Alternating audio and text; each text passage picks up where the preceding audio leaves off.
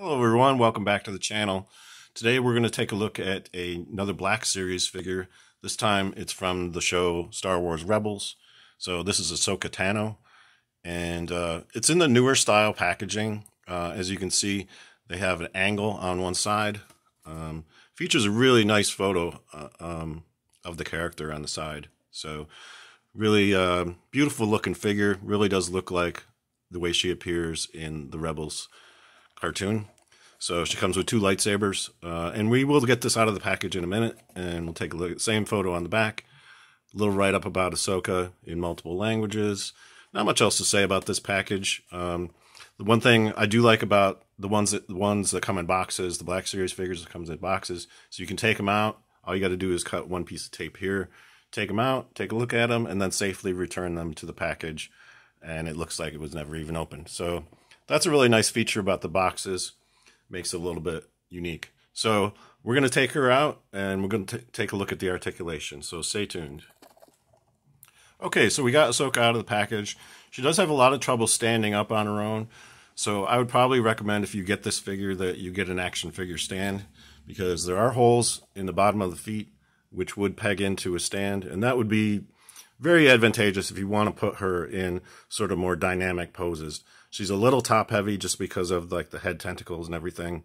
So, and her feet are very small. So I'd recommend a, figure stand if you're going to do a lot of things with Ahsoka and display her. Uh, otherwise, you'll have to lean her up against something um, in order to keep her upright. So that's a little bit of disadvantage in this figure, but it looks great. I mean, I love I love the way the face is sculpted. These head tentacles look really good. Uh, it does hinder the articulation, and we'll go over that.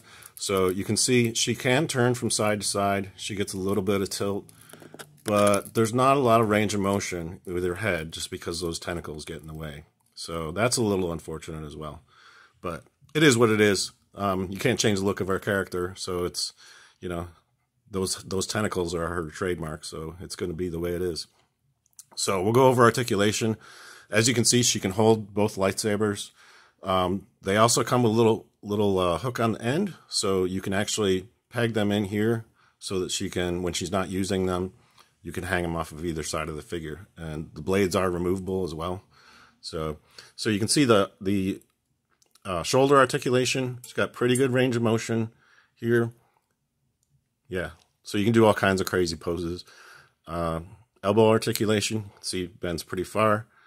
Wrist articulation goes in and out and pivots so you can get the various poses.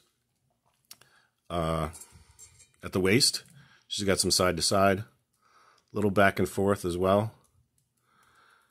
Uh, she can't kick out very far just because these these are get in the way. So, but she can kick forward and kick back. So, as you if you angled the legs in a certain way, you could get sort of a, a more dynamic pose.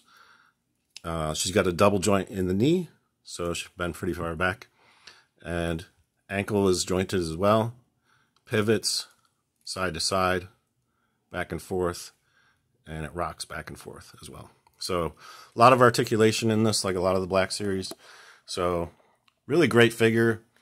Uh, this is probably one of my favorites of the more recent stuff. So um, I will be getting, I believe, a three and three quarter inch um, Ahsoka down the road too. I have that on pre-order from Big Bad Toy Store.